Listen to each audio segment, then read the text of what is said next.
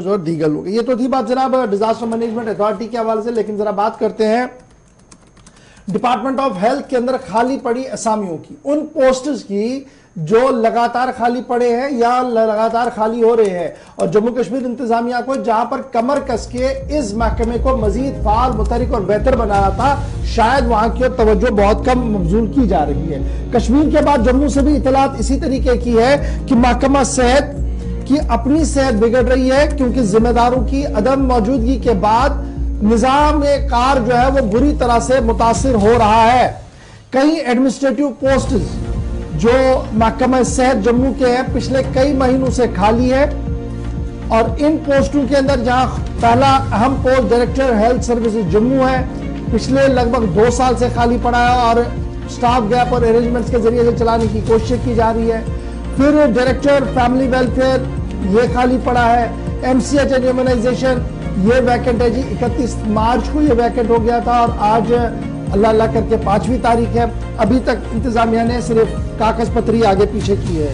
ये जो वैकेंसियाँ बढ़ रही हैं, इससे क्या हो रहा है जी? दो चीज़ें बुरी तरह से मुतासर हो रही एक पेशेंट केयर पर बर रास्त इसका असर पड़ रहा है और दूसरा ये कि एडमिनिस्ट्रेटिव रिफॉर्म्स के लिए जो इकदाम उठाए जा रहे हैं सरकार की तरफ़ से, वो इम्प्लीमेंट ही नहीं हो पा रहे हैं क्योंकि जिम्मेदार जो सरपरस्त होता है इदारे का, वो वहाँ पर नहीं है। अभी जो हमारे पास इतलात आ रही है महकमा health and health and family welfare department की तरफ़ से दो पोस्ट हैं director health services Jammu, director family planning, ये की पोस्ट है जी, जम्मू के ये जनाब खाली पड़े हैं और सरकार की तरफ़ से कोई भी प्रायोरिटी इस पर नहीं दी गई है, किसी को भी अभी तक अपॉइंट नहीं किया गया है जम्मू सूबे के लिए।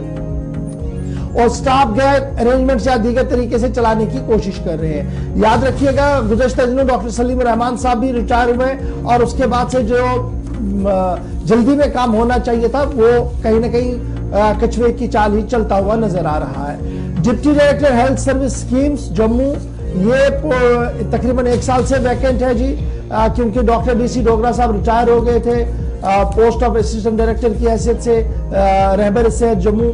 ये वैकेंट है पिछले आठ महीनों से क्योंकि यहाँ पर भी डॉक्टर दीपक कपूर साहब रिटायर हो गए थे। और फिर आ, स्टेट वेनरोलॉजिस्ट जम्मू ये भी जनाब पिछले कई महीनों से वैकेंट पड़ा है एक साल से वैकेंट पड़ा है क्योंकि डॉक्टर नीता सिंह साहिबा वहाँ से रिटायर हो गई है।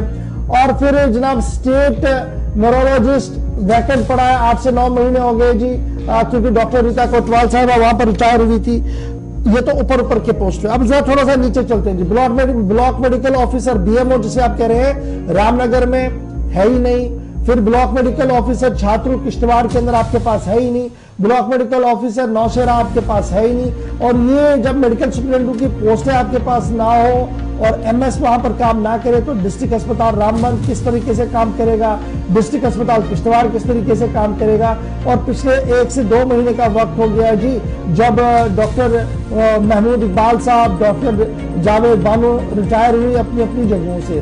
और फिर एम एस जगती हॉस्पिटल जो है, यानी जो बड़ा इंपॉर्टेंट हॉस्पिटल था एक जमाने में क्योंकि कश्मीरी माइग्रेंट वहाँ रह रहे हैं। ये जनाब, यहाँ पर भी कई डॉक्टर वैकेंट पड़े हैं। डॉक्टर्स पिछले छह छह महीने से पोस्ट वैकेंट पड़ी है क्योंकि कोई ना कोई या तो डॉक्टर रिटायर हुआ है या वहाँ से तब्दील हुआ है। सरकारी ज़रा के मुताबिक, यानी जो हेल्थ एंड मेडिकल एजुकेशन के ज़रा हैं, उनके मुताबिक इन तमाम पोस्टों को, जो वैकेंट पड़े हैं हेल्थ डिपार्टमेंट के अंदर, इनको पुर करने के हवाले से कोशिश की जा रही है। तहम कुछ तकनीकी वजूहत भी सामने आ रही है। या तो याद रखिए, मुलाजिम अंजुमन जो फेडरेशन है एम्प्लॉयज़ की, वो लगातार सरकार के साथ एडमिनिस्ट्रेशन के साथ रबते में है। और गुजशत दिनों भी जब उन्होंने मीटिंग की administrative secretary health and medical education के साथ तो उन्हें यह एश्योर किया गया था कि within weeks period of time all is well हो जाएगा और तमाम पोस्टों पर, इंतजामी पोस्टों पर डॉक्टरों की तैनाती भी होगी, अफसरों की भी तैनाती होगी ताकि जवाबदेही के साथ साथ इंतजामिया भी आगे बढ़ सके। ताहम हफ़्ते गुजरने के बावजूद भी, हफ़्ते गुजरने के बावजूद भी